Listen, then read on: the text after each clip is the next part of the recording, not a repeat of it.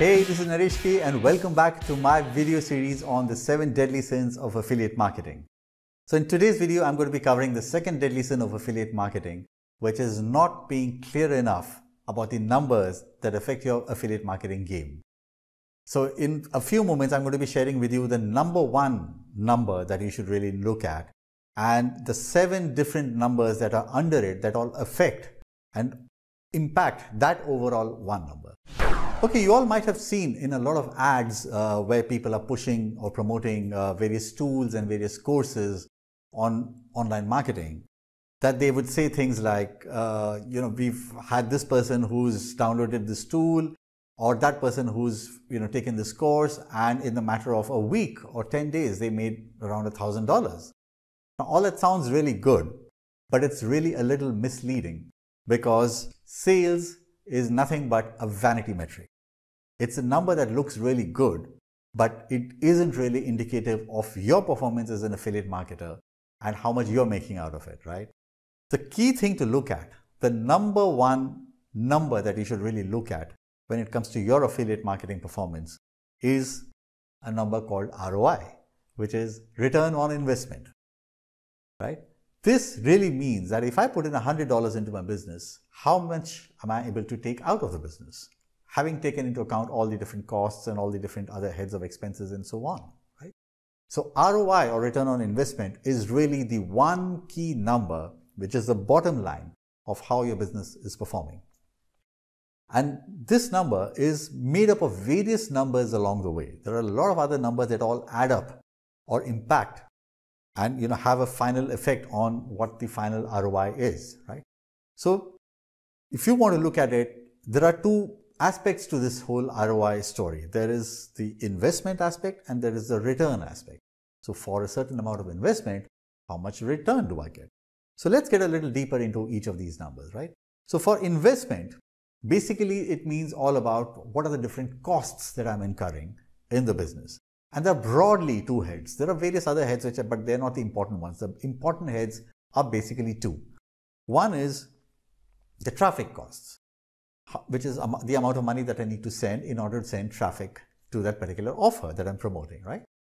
And the other are the tool costs. Now, tool costs will include stuff like the cost for your autoresponders, your funnel builders, your tracking tools, or your hosting, uh, and you know, if you're an advanced marketer, there are various other tools that will come into play, such as your webinar platforms and so on and so forth. But broadly, these are the critical tools that at any stage of your affiliate marketing journey, you will have to face in terms of tools, right? So there are the traffic costs and there are the tool costs. There are some other heads that I'm not including, such as you know the cost of setting up your business and so on uh, in this whole thing. These are the two main heads of investment. Now, coming to the return part of it,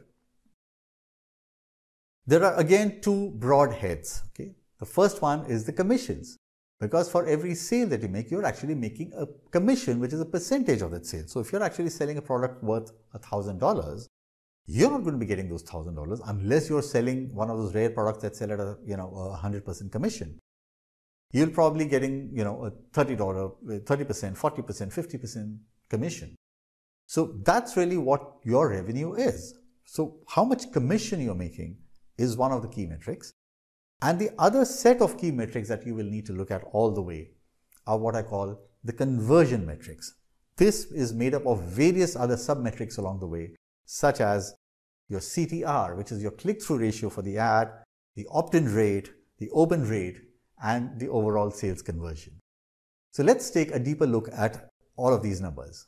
All right, so in general, a simple funnel would look like this, right? There is you as an affiliate marketer who's on the left hand side and you would be putting out an ad where people would click and they would then go on to something like an opt-in page where people would feed in their details uh, such as your, your name and your email ID and so on.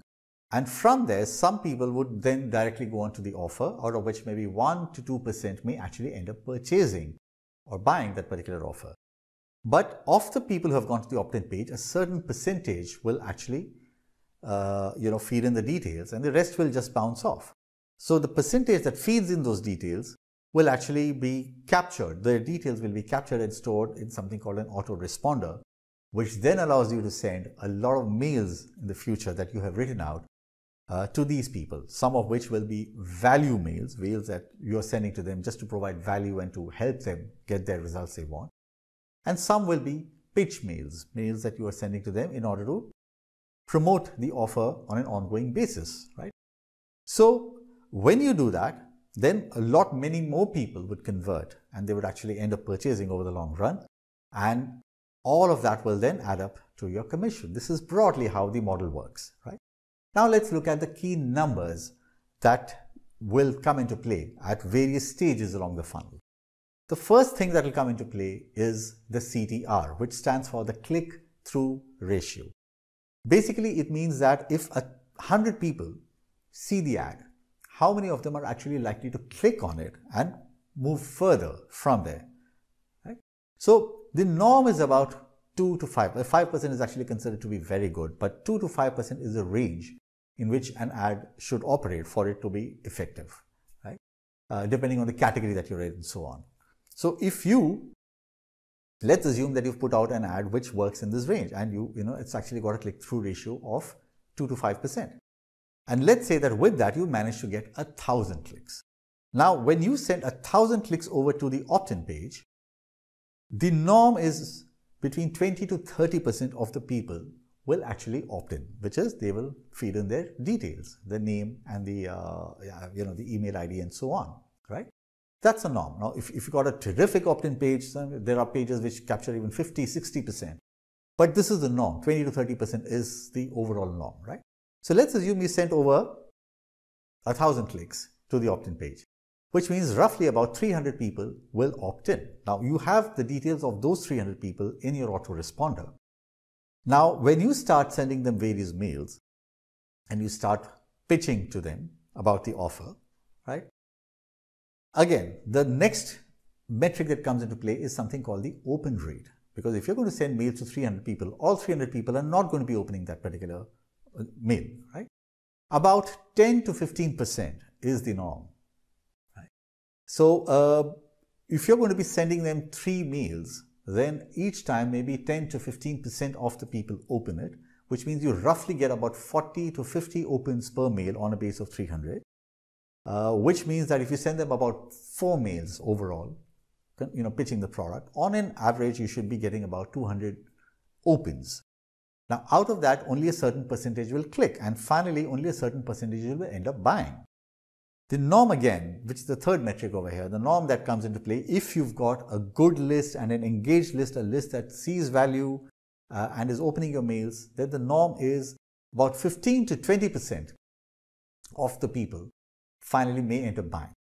Which means that finally, on a base of about 200, if you're saying 15%, 200 opens that is, if you're saying about 15%, then about 30 sales is what you can expect. Okay. Now, these are the key metrics. At this point, there are some two or three things that one should point out. Number one is as your list grows larger, because right now you've got 300, but it's not going to remain at 300, right? Over a period of time, your list will grow larger. As your list grows larger, your sales will obviously go up because you're now going to be applying that conversion rate on a much larger base. So your sales should go up over a period of time. But however, the second point is it is noticed that over a period of time, your open rates will drop because a lot of people over a period of time will tend to become less engaged and so on. And especially if your base is increasing, then your open rates will drop. So in order to make sure that your open rates remain at a healthy 10 to 15%, you need to really keep them engaged and provide value to the people on your list so that that conversion metric remains healthy as well. Okay? And the third thing is all about the dollars and cents. So let's look at some dollars and cents kind of rough calculation over here, okay? So if you're going to be sending a thousand clicks, a rule of thumb, going by a rule of thumb, roughly $1 per click is where it is now. It could be more depending on the category and depending on the kind of competition in the category. But for the purposes of simplification, let's say it's, it's roughly about, say, $1 per click, so to send a thousand clicks over, it's going to cost you, say, a thousand dollars. Having gone through that entire funnel and the various conversions, the various dropouts at various points, if you finally end up with 30 sales, what it really means is that it's going to, you've got to make at least $33 per sale. $33 per sale as commission for yourself for you just to make your traffic costs back. On top of it, there are the other costs. So, I mean, if I were to add on your tool costs and you know the other stuff, you may, you may need to make something like 35 to maybe $40 back per sale. Now, again, over a period of time, this will change because as, as, you, as you get more and more sales for the same amount of traffic cost, right? Because this month it's 300, next month your base may be 600, maybe 1000, maybe 1500. And again, if you send in another, you know, $1,000 worth, but for you to now recover those $1,000 will be much easier because you already have a large base of people in your list already, right? So things will get easier. But at least in the beginning stages, it means that you need to make at least about $40 or so per sale. So if you're going to be starting out by promoting low priced offers like $10, $13, $17 kind of product, it's going to be a little difficult for you. You can make money in that only when you have a large base of, you know, uh, in your list. So this brings me to a very key point, which is that the kind of offer you choose, whether it's a low ticket or a high ticket offer, is a very, very important uh, thing to consider again in upping your affiliate marketing game. Right, so I hope you found this useful. Please mention in the comment section below which of these metrics uh, is something that is proving particularly challenging for you or which of these are working particularly well for you. And uh, I hope you found this uh, session useful and I hope you're finding value in this entire series. If so, please click on the subscribe button below so that you can be notified every time I upload a new video. And uh, in my next video, I will be actually getting into this topic that we just touched upon today, which is how to choose the right offer so that you can make the maximum money for all your efforts and uh, you get the maximum returns for all your efforts. Okay. So till then, see you. Bye bye and have a nice day.